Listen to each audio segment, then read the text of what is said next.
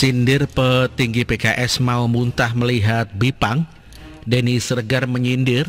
Tapi kalau follow akun porno terdepan, aduh siapa ini?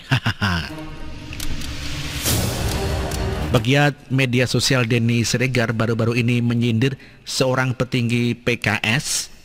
Adapun sindiran itu seperti biasa ia tweetkan melalui akun media sosial Twitter pada Selasa kemarin.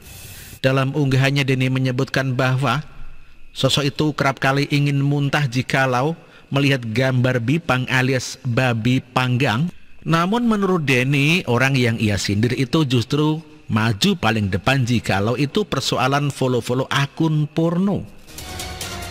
Ada petinggi PKS yang mau muntah katanya kalau ada yang share gambar babi panggang demikian tulis Denny Siregar. Tapi kalau follow akun porno, beliau paling terdepan, emoji tersenyum manis demikian pungkasnya. Seperti diketahui Bipang atau lebih tepatnya Bipang Ambawang dalam beberapa hari ini memang sedang naik komputer, eh naik daun. ya kuliner khas Nusantara asal Pontianak Kalimantan Barat itu viral dan menjadi sorotan publik seusai disebutkan oleh Presiden Jokowi yang pada akhirnya menuai pro dan kontra. Nah dalam cuitan Denny Siregar, meskipun ia tak menyebutkan sebuah nama secara pasti, tetapi ada satu nama yang kuat diduga sebagai pihak yang dimaksud. Berdasarkan penelusuran dari wartawan, sejumlah netizen kompak menyebut nama Tifatul Sembiring. Bahkan ada yang sambil mengunggah dengan sebuah video ataupun tanggapan layar berupa gambar. Ini bukan bang, emoji tertawa tiga buah, uh, tanggap daripada akun Moh Kepo 7 disertai tanggapan layar seperti ini. Seolah membenarkan tetapi tidak ingin memastikan dengan menjawab ya, Denny Siregar menjawab komentar itu dengan tertawa. Ya nama babi panggang alias Bipang menjadi meroket setelah dipromosikan oleh Presiden Joko Widodo menjadi kuliner khas yang akan dipesan jelang lebaran. Namun pernyataan Jokowi itu menimbulkan kontroversi karena babi dinilai makanan haram dikonsumsi bagi umat muslim yang akan menghadapi lebaran. Bahkan Tiwatul Sembiring mantan Menkominfo merasa jijik dengan foto dan video orang makan bipang yang dibagikan ke lini masa di medsosnya. Tolong dong teman-teman Ti Budiman agar nggak nge-share foto ataupun video orang makan bipang ke saya. Demikian tulis Tifatul Sembiring yang dikutip okezone.com. Dia beralasan saat ini sedang menjalankan ibadah puasa sehingga tidak bisa menahan muntah saat melihat makanan babi di hadapannya. Udah nahan mual-mual nih, tapi sahurnya kan dikit. Kalau keluar lagi maghrib masih lama demikian katanya.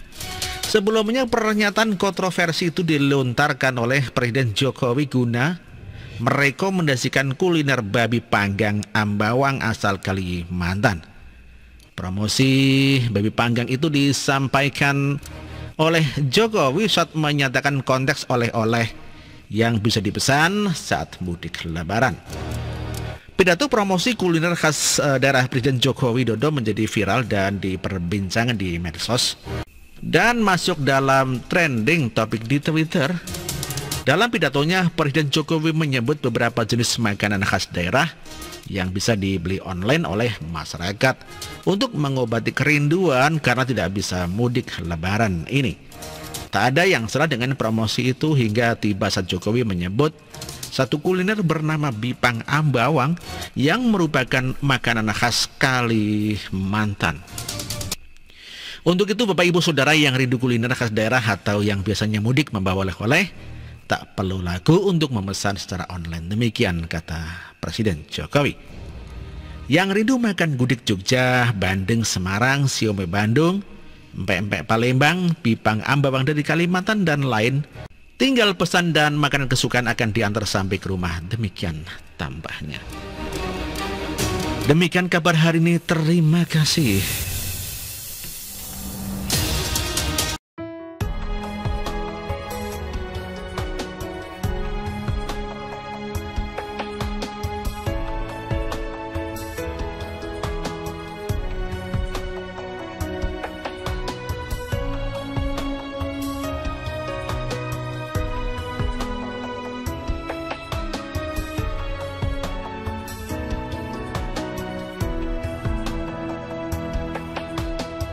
Bersih, jujur dan merakyat. Berbuat demi masa depan kami. Sosok pemimpin tegas pemberani.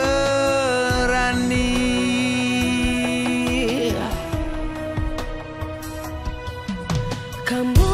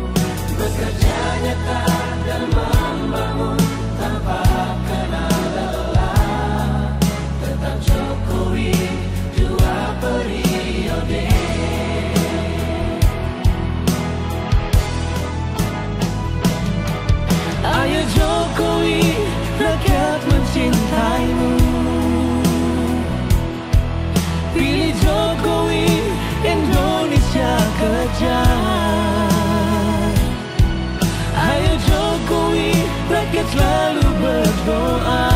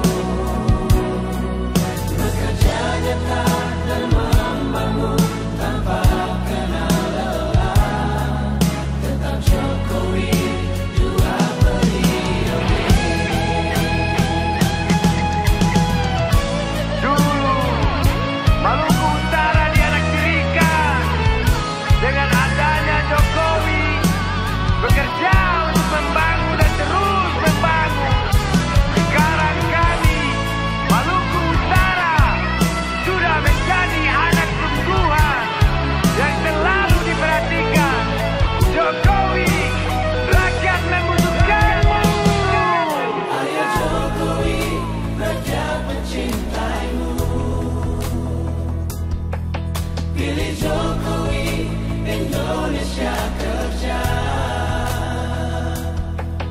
Ayo Jokowi selalu Pilih Jokowi